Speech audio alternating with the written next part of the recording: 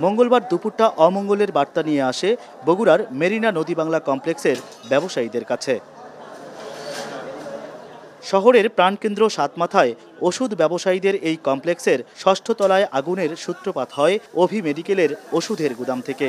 ব্যবসায়ীদের দাবি, অভি মেডিকেল ও নাবির অ্যান্ড নাবিল মেডিকেলের গুদামসহ ক্ষতিগ্রস্ত হয় বেশ কয়েকটি ওষুধের গুদাম। অভি মেডিকেলের পঞ্চাশ ষাট লাখ হবে, আমাদের তো প্রায় বিশ পঁচিশ লাখ টাকার মতো প্রোডাক্ট মোটামুটি আছে। টোটালে মনে করেন যে প্রায় এক কোটি টাকার মতো এক কোটি পার হবে।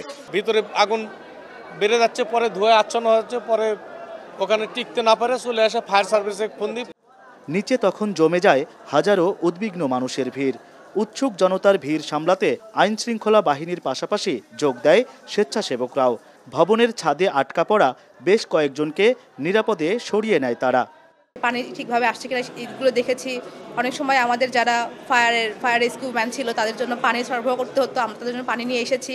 আমরা আসার পরে পাঁচ থেকে ছয় জনকে আমরা উপরে পেয়েছি এবং আমরা সফলতার সঙ্গে তাদেরকে নিচে নিয়ে আসতে পেরেছি। প্রায় দেড় ঘণ্টা চেষ্টার পর আগুন নিয়ন্ত্রণে আনে ফায়ার সার্ভিসের আটটি ইউনিটের কর্মীরা। দুই ঘণ্টা পর পুরোপুরি আগুন নির্বাপনে সক্ষম হয় তারা। প্রচুর পরিমাণে গোডাউনে মালামাল আছে। এর মধ্যে একটি গোডাউন আছে, সেখানে ঔষধ সামগ্রী ছিল। সেই ঔষধ সামগ্রীর গোডাউন থেকে মূলত আগুনের সূত্রপাত হয় আর কি।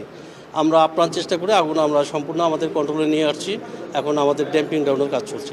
বগুড়া ফায়ার সার্ভিস জানায়, অগ্নিঝুঁকি মোকাবেলায় তেমন কোনো সুরক্ষা ব্যবস্থা ছিল না ভবনটিতে।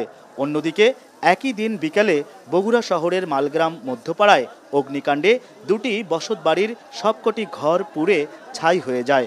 পরে খবর পেয়ে বগুড়ার ফায়ার সার্ভিসের দুইটি ইউনিট এসে আগুন নিয়ন্ত্রণে আনে। হেদায়েতুল ইসলাম বাবু, এখন বগুড়া। ওয়ালটন ফ্রিজ কিনে অনেকের মতো আপনিও হয়ে যেতে পারেন মেলেনিয়া সেরা পণ্যের সেরা অফার।